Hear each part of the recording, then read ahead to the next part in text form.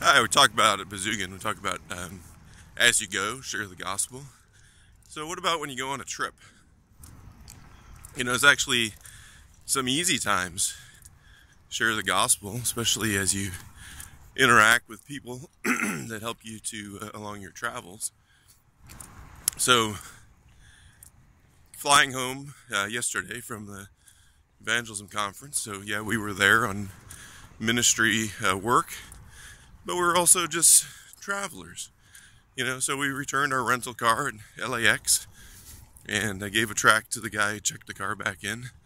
And as we're walking through the parking lot, one of the workers, he had the radio on the one of the cars he was cleaning had the radio cranked up and he's dancing, just having a good time. It's a Sunday afternoon, you know, beautiful weather in LA.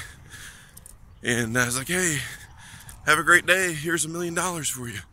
And then his buddy was sitting there, gave him one too. So, you know, they're like, hey, thanks, man. So, you know, just, you know, made it very easy. You know, then we get on the bus that takes us uh, back to the terminal and uh, had a very helpful, um, had a very helpful driver that uh, loaded and unloaded our bags. And so we gave him a couple dollar tip along with a million dollar bill. And he was like, hey, thanks. And same thing at the check in at the uh, American Airlines. We checked our our bags and you know gave the guy a million dollar bill.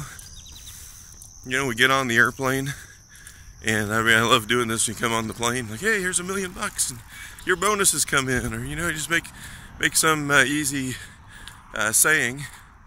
You know, um, someone helps you. Hey, thanks a million, and you hand them a million dollar bill tract you know, where the thank you tracts are great for this too.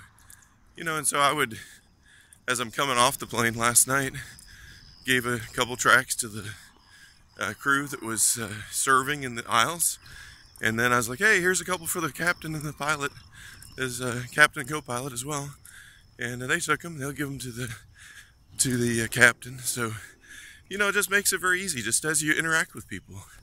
So, you know, my uh, wife and I, we were sitting next to a woman who was traveling also, and I had helped her put her bag up in the overhead bin, got it back down, and as we are leaving, I was like, hey, here's a million dollars for you. It's got the gospel in the back. She's like, oh, thanks. You know, so people are very friendly. They, uh, they'll receive the tracts, but it's very easy as you're traveling, especially to give them to the staff and the crew that you're interacting with. So be bold, share the gospel as you go. God bless.